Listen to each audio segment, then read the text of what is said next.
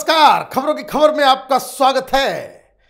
Congress party के राहुल गांधी तो ये कहते हैं कि वो नफरत के बाज़ार में मोहब्बत की दुकान खोलने आए हैं, लेकिन कांग्रेसियों की हालत ये है कि वो राजनीतिक मर्यादाओं को तार तार करने में एक भी पल गवाते नहीं है। एक नया स्टेटमेंट आया है कांग्रेस के एक बहुत बड़े दिग्गज लीडर के द्वारा, जिसमें प्रधानमंत्री मोदी के बारे में कहा कि बहुत कम समय बाकी है इनके पास। ज़्यादा समय नहीं है और इनका जो अंत होगा वो ठीक वैसा ही जैसे हिटलर और मुसोलनी और फ्रैंको का हुआ था। जिस तरह से फासिस्टों की का अंत होता है, उसी तरह से प्रधानमंत्री मोदी का भी अंत होगा। अब मुँह में राम, बगल में छुरी।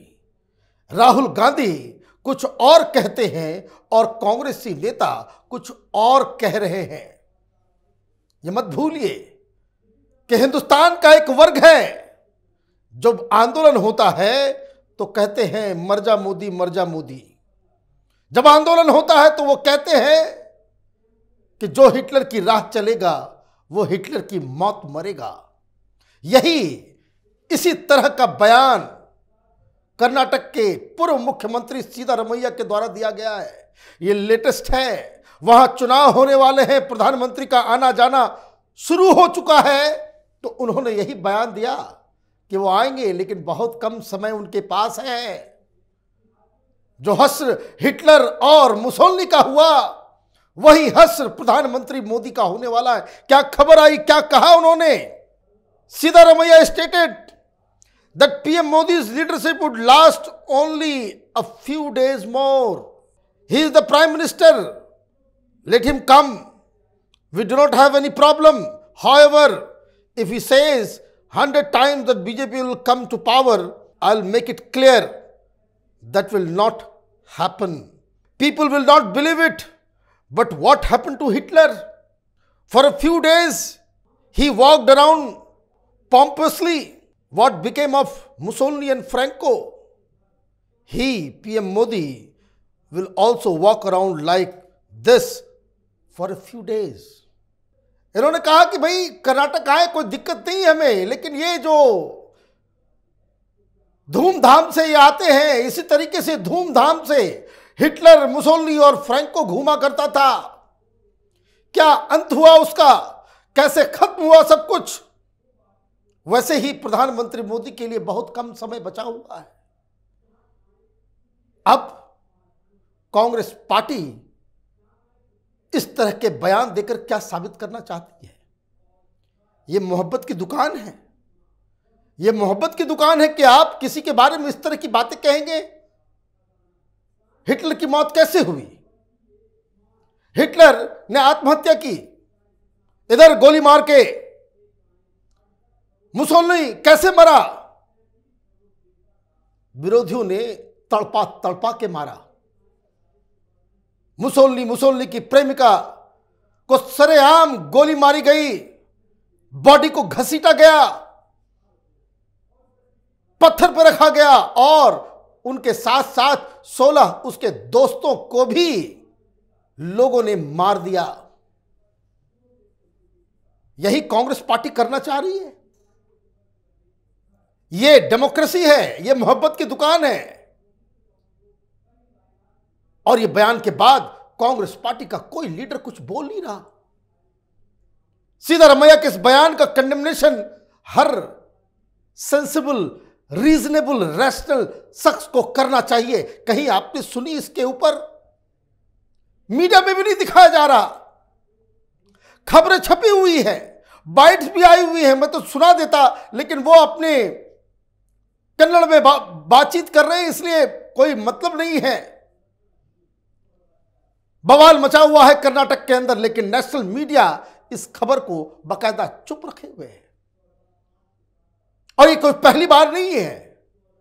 गांधी परिवार के बहुत ही क्लोज सुबोध सहाय अभी हाल में ही उन्होंने एक बयान दिया था या अग्निवीर के ऊपर इन्होंने एक प्रोटेस्ट ऑर्गेनाइज किया था तो उन्होंने कहा था कि जिस तरह से हिटलर ने बकायदा रिक्रूटमेंट शुरू किया था आर्मी में युवाओं को बहाल करने के लिए, उसी तरीके से प्रधानमंत्री मोदी भी कर रहे हैं। और उन्होंने तो उस प्रोटेस्ट के दौरान ये बात बकायदा डंके की चोट पे कहा कि जो हिटलर की राह चलेगा, वो हिटलर की मौत मरेगा।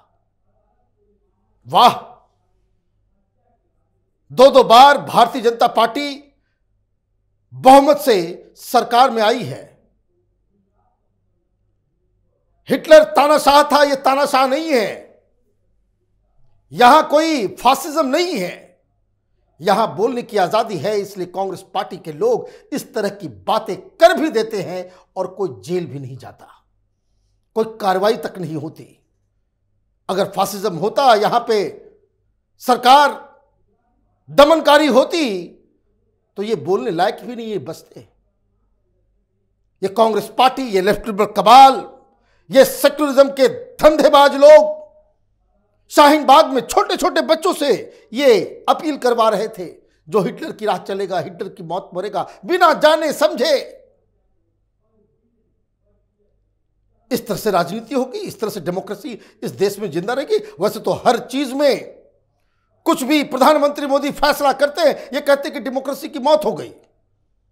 इन बयानों से डेमोक्रेसी जीवित हो जाएगी। ये कांग्रेस का क्या कोई आइडियोलॉजिकल लाइन है, या कोई रणनीति है, या कोई प्लान है? इलेक्शन हारने दो मोदी को। मुसोलनी की तरह घसीट घसीट के उनकी मौत दी जाएगी। क्या ये कहना चाह रहे? और कोई पहली बार कोई रोके तब तो एक और लीडर है, शेख हुसैन। उसने इसी तरह के मंच से वो कह रहा था कि जिस तरीके से कुत्ते की मौत होती है, उस तरह से नरेंद्र मोदी की मौत होगी। कोई एक्शन लिया गया? जिसको जो मन आ रहा है, वो कह रहा है।